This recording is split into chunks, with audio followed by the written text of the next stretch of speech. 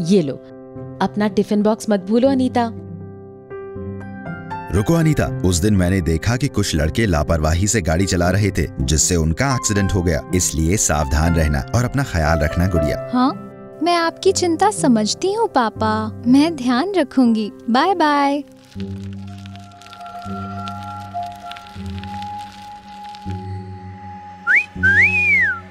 कहाँ जा रही हो ब्यूटीफुल मुस्कुरा तो दो। अच्छा तो तुम हमें भाव नहीं दे रही हो हाँ? अब इतनी भी अच्छी नहीं दिखती।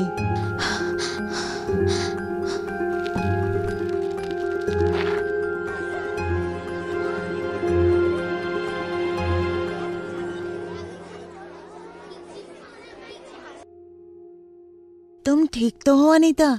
क्या बात है? स्कूल के रास्ते में कुछ लड़कों ने मुझको सीटी मारी और भद्दे कमेंट्स किए। ये सब एक हफ़्ते से हो रहा है और मुझे समझ नहीं आ रहा मैं क्या करूँ। ये खौफनाक है। क्या तुमने अपने माता पिता को इसके बारे में बताया? मुझे डर है कि वो कहीं मेरा स्कूल ना छुड़ा दे। अनीता मुझे लगता है तुमको हमारी क्लास टीचर से बात करनी चाहिए। मुझे यकीन है वो ज़रूर तुम्हारी मदद करेंगी। नीरव और मैं तुम्हारे साथ चलेंगे। हेलो स्टूडेंट्स बताओ मैं तुम्हारी क्या मदद कर सकती हूँ? मैम हम सब यहाँ अपनी दोस्त की मदद करने आए हैं। बोलो अनीता हम सब तुम्हारे साथ हैं। मैं मैम एक घबराओ मत बच्चे मैं यहाँ अकेली हूँ इसलिए बेझिझक बताओ। डरो मत। मैम एक हफ़्ते से स्कूल के रास्ते में बड़ी उम्र के लड़कों का एक ग्रुप मुझको देखकर सीटी मारता है और भद्दे कमेंट्स पास करता है। मुझे इस बारे में मम्मी पापा से बात करने में डर लगता है। मैम मैं भी आपको कुछ बताना चाहता हूँ। हाँ नीरव बताओ ना। कुछ दिन पहले हमारी स्कूल बस के ड्राइवर ने मुझे ज़बरदस्ती अपने पास बैठाया। उसने मुझे छुआ जो कि मुझे ठीक नहीं लगा। मैंने हटने की कोशिश की, लेकिन उसने अपनी पकड़ ढीली नहीं की। वो बोला कि अगर मैंने किसी को ये बात बताई तो वो मुझे सजा देगा। मैं बहुत डर गया था। मुझे दुख है कि ऐसा हो रहा है। ये मामला बहुत ही गंभीर है।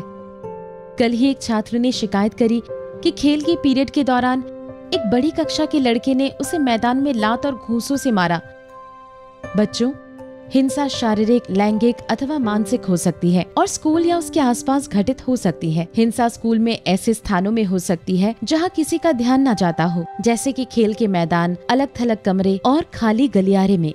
जागरूक रहना और मदद मांगना बहुत ज़रूरी है। तुम दोनों बहुत बहादुर हो और मुझे खुशी है कि तुमने मुझे ये बात बताई। हमें प्रधानाचार्य से मदद मांगनी चाहिए। आ जाइए। Good morning sir. Good morning ma'am. Sir मुझे आपसे बहुत ज़रूरी बात करनी है। थोड़ी देर पहले हाँ? क्या? सर आप तो मानते ही हैं कि हिंसा एक बच्चे के विकास को नुकसान पहुंचाती है। इसके कारण चिड़चिड़ापन खराब शैक्षिक प्रदर्शन स्कूल न आना और समाज से अलग थलग रहने की प्रवृत्ति पनप सकती है। हमें कुछ करना चाहिए सर।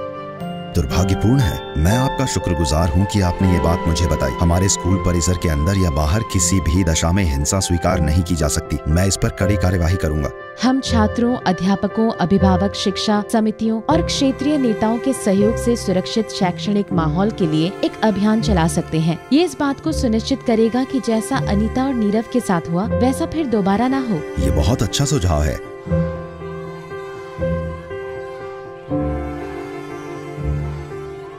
गुड मॉर्निंग एवरीवन आज मैं आप सबका ध्यान एक महत्वपूर्ण मुद्दे हिंसा पर आकर्षित करना चाहूँगा। हिंसा का किसी भी बच्चे के मानसिक व शारीरिक स्वास्थ्य पर नकारात्मक असर पड़ता है। हिंसा सभी की भलाई व प्रत्येक छात्र के संपूर्ण विकास को सुनिश्चित करने के हमारे विद्यालय के मुख्य उद्देश्य में बाधक है।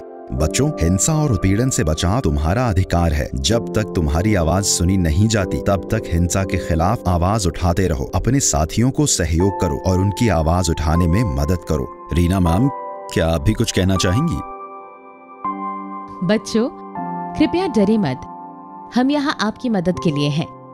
हमने एक ड्रॉप बॉक्स लगाया है जिसमें आप हिंसा के मामलों की सूचना दे सकते हैं। आप बाल सुरक्षा हेतु काम करने वाले चाइल्ड लाइन नंबर एक शून्य नौ आठ पर भी कॉल कर सकते हैं। हम आपकी शिकायत पर छानबीन करेंगे और ज़रूरी कार्यवाही करेंगे। धन्यवाद मैम बच्चों, अगर आपको कुछ भी बताना हो तो आप मेरे ऑफ़िस भी आ सकते हैं। सुरक्षित रहें। हमें अपने बच्चों को एक हिंसा मुक्त ज़िंदगी देनी है। जिम्मेदार अभिभावक, शिक्षक व सामुदायिक नेता के नाते हमें उनकी बात सावधानी से सुननी होगी। हमें उन पर कोई आरोप नहीं लगाना है। पूरे समुदाय को ऐसे माहौल का निर्माण करना होगा, जहाँ बच्चे हिंसा, चोट व दुर्घटनाओं से सुरक्षित रहें। चलिए, हम सब मिलकर अपने बच्चों के लिए सुरक्षित भय मुक्त व जीवंत, शैक्षिक वातावरण सुनिश्चित करने के लिए कार्य करें।